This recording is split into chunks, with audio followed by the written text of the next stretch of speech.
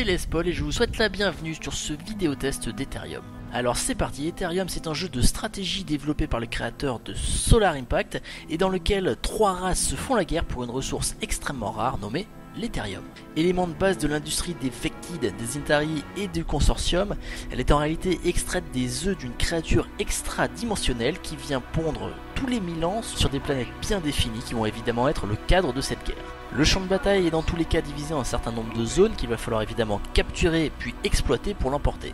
Il faut pour cela envoyer des unités d'infanterie prévues à cet effet dans chaque zone pour y construire un bâtiment qui va permettre non seulement d'exploiter les œufs présents dans la zone, mais aussi à construire une série d'extensions qui vont apporter divers bonus. On peut ainsi repousser la limite de population, augmenter la vitesse d'extraction de l'Ethereum ou la limite de points de commandement servant à lancer des attaques spéciales propres à chaque faction. On peut aussi faire en sorte que n'importe quelle base puisse soigner des unités et les recruter, ou bien augmenter le niveau de science qui permet de recruter des unités plus puissantes ou bien de s'acheter des extensions plus évoluées. Parmi celles-ci, on peut trouver un bouclier et même un canon qui est capable de bombarder le vaisseau de commandement ennemi situé dans l'espace, ce qui peut permettre éventuellement de gagner la partie si celle-ci s'éternise un peu trop.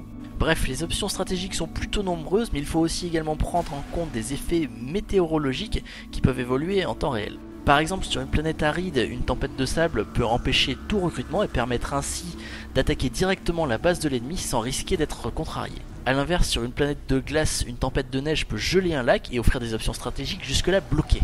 Mais il y a aussi quelques spécificités propres à chaque faction qu'il va falloir prendre en compte. Les Vectis dans un premier temps peuvent déjà adopter une structure plus défensive que les autres en construisant 4 tourelles par zone au lieu de 3 mais disposent aussi d'un pouvoir permettant de bloquer sur un certain laps de temps et dans une zone donnée les armes des ennemis. Les intaristes sont de leur côté capables de connaître à l'avance le temps et même de déclencher des événements météorologiques tandis que le consortium adopte une posture plus agressive avec des unités de bas niveau moins chères. Ajoutez à ça des pouvoirs communs permettant par exemple de bombarder le sol depuis le vaisseau de commandement présent dans l'espace et vous donnez un gameplay plutôt riche seulement entaché par une IA pas bien maligne qui a tendance à mal choisir ses priorités. En effet si on lui ordonne d'attaquer un bâtiment elle n'aura pas la présence d'esprit de se défendre si une autre unité ennemie débarque et l'attaque.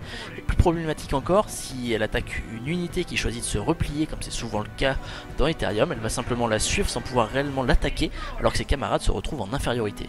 Le mode conquête qui constitue le contenu solo principal est également une mini déception. On doit y gérer sa flotte, se déplacer de planète en planète afin de conquérir des territoires grâce aux escarmouches expliquées précédemment, chaque zone conquise offrant un petit bonus pour le tour suivant. Ce peut être un capital initial d'Ethereum plus important ou bien un certain nombre de points de technologie à dépenser dans un arbre permettant par exemple de recruter plus de flottes ou des unités plus puissantes en combat. Avouons toutefois que c'est un petit peu répétitif puisqu'à chaque tour les seules options disponibles pour le joueur sont tout simplement de se déplacer sur une autre d'attaquer un territoire et donc de faire une petite escarmouche, ou bien d'attaquer un vaisseau dans l'espace pour le détruire s'il est déjà fragilisé après plusieurs défaites sur le sol. Cette répétitivité est d'ailleurs aussi présente sur le multi où on a simplement la possibilité de faire des parties rapides. Bref, Ethereum propose un gameplay très sympathique et très stratégique, malheureusement un petit peu entaché par un contenu un peu pauvre, et c'est pour cela qu'il a décroché ce 15 sur 20.